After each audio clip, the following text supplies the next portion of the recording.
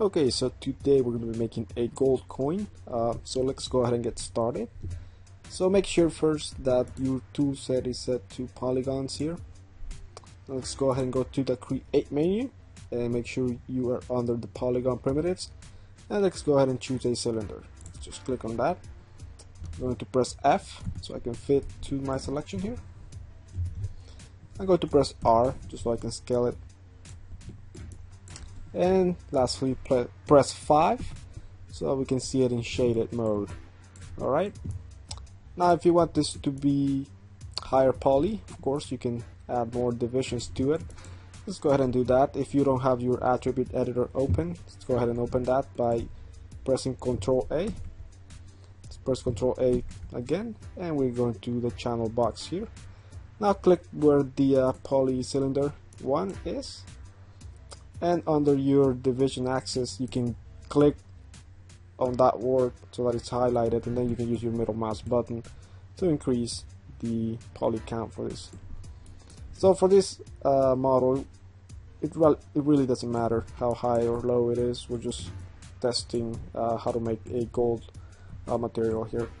So I'm just gonna leave it at 49 right now. It really doesn't matter. Okay let's go ahead and shape it so that it looks like a coin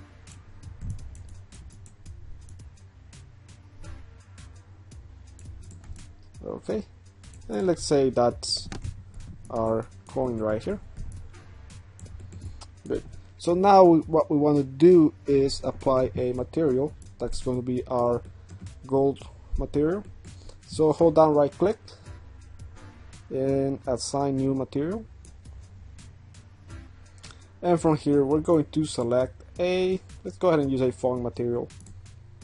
Okay. That's going to be right here I'm gonna name it gold alright. So the first thing that we have to do to get a gold gold looking uh, coin here is to mess with the diffuse color. Just right here our color.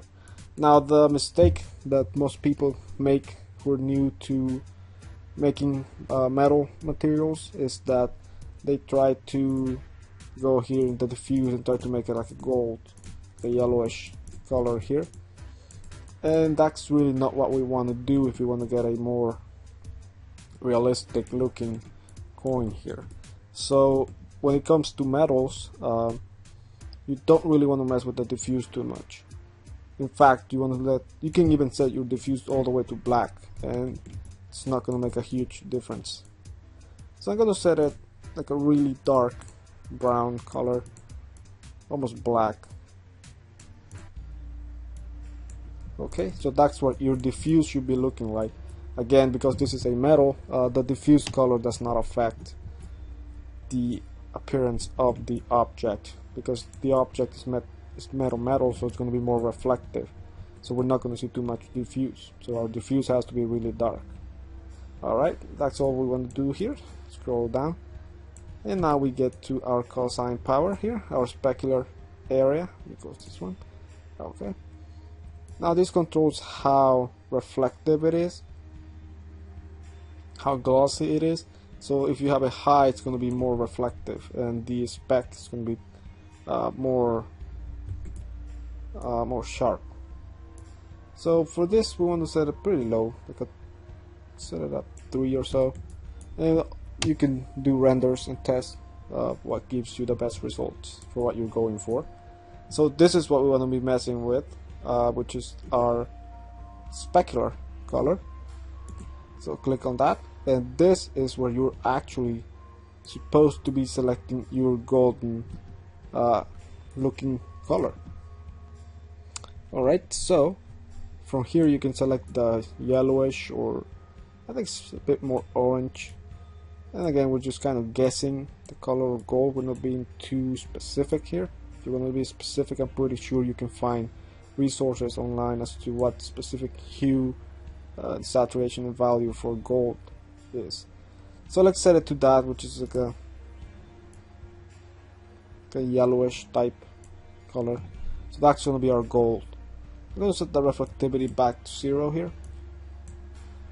So this is pretty much how you control uh, the color of the gold through the specular color. and not the diffuse. You let the diffuse to a really dark color. And the same goes for any other metal. Uh, for metals, you want to mess with the specular color and the cosine power as well, which is the glossiness. Okay, so we can go ahead and render. Um, if I render it right here, the way it is right now without uh, like a normal map or bump map, it's just gonna look pretty flat. So what I'm gonna do is I'm just going to uh, attach a normal map to my model so that it's more variation in how it looks.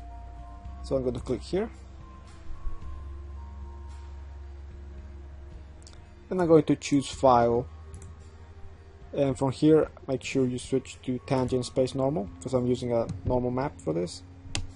Also I'm going to be providing these files just a generic normal map. Uh, you can make your own normal map of course for your coin. Um, so let's go ahead and then click on this folder. Okay so we have our normal map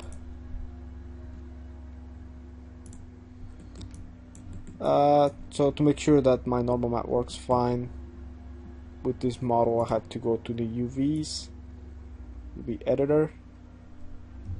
As we can see here. I'm going to switch my texture to file 1 so I can see my normal map. And from here I'm just going to move this. Again I'm not being too careful to make this look right. Um, by the way the, I just pressed W so to select this actually skip that part I click on this icon right here and then click on it and press W to move that guy. And I can press R to scale it. Okay. We'll do the same with this one. And click here, click on it. Press W to move that guy. Press R and scale it.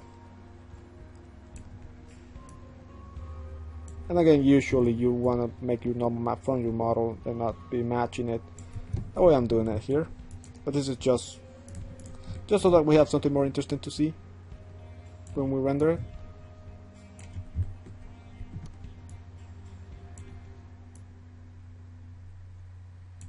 And let's go this guy.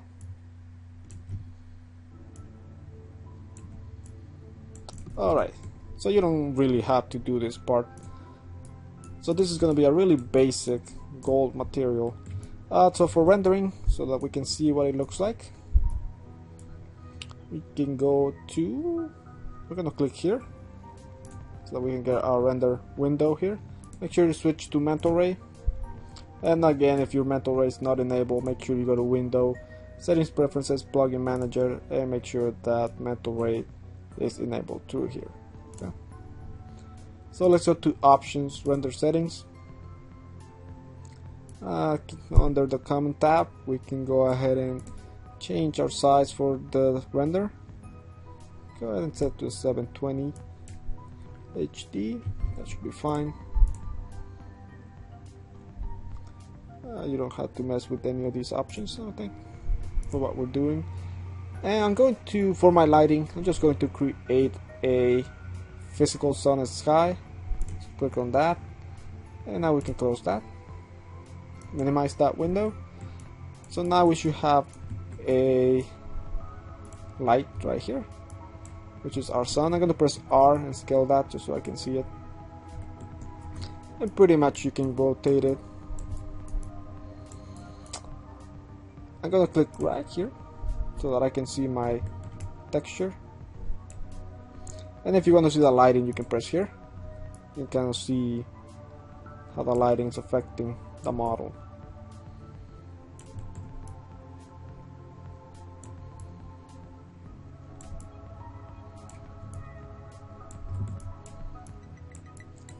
So let's go ahead and do a render test.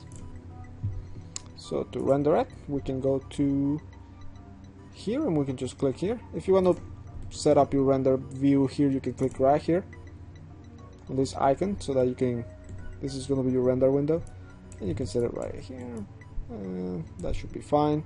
And then here open your render view and click this button so that you can render the image. Okay so we have our render here. And as you can see it kind of looks like a golden type uh, coin here. Obviously it doesn't look too realistic but again if we mess with the specular color to get it more correct and the cosine power and we do a few test renders we can eventually get a result that looks more appropriate for what we're going for. And as you can see here uh, we don't see the diffuse too much. Uh, that's why we set the diffuse to black but we're still seeing our coin as kind of golden as a golden color here which is the spec that we chose. So when you're working with materials that are uh, metals uh, ignore the diffuse just set that to really dark or even black and then just mess with the specular. And you can always plug a specular map uh, where you can have dents and scratches and whatnot to make your coin look more realistic or your metals look more realistic. So this is pretty much it. Uh, I just wanted to show really basic this is really really basic uh, material for gold and how we mess with the specular uh, instead of the diffuse for creating that metal look.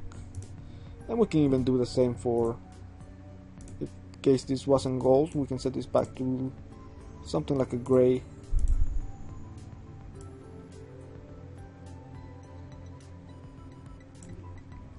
And let's see what this looks like if we render it this way. So as you can see here it still looks kind of reads almost like metal uh, and again all we're doing is messing with the spec. And if we have a more interesting normal map it, it will look a lot better. This is a really simple normal map that I made here just for testing. But as you can see this is this video was just to give you an idea what uh, not to mess with the diffuse when it comes to making metals. Okay